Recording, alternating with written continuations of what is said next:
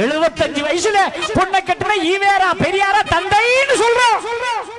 வாழ்நாள் முழுக்க பெண் வாடையே இல்லாமல் தன் வாழ்நாளையே தமிழகத்துக்கும் இந்திய தேசத்துக்கும் என்று எடுத்து கொடுத்து கஞ்சி கலையங்களை ஊற்றி கல்வி கண்டிருந்த புத்தம பெருந்தலைவர் காமராஜரை மறந்து விட்டு கொண்டிருக்கிறோம். யார் பெரியவன்? உண்மையை உணர்ந்து பேசுங்கள். இந்த வரலாற்று பிள்ளைகளுக்கு சொல்லிக் கொடுங்க. ஏதோ அவன் பதினேழு முறை படையெடுத்தான்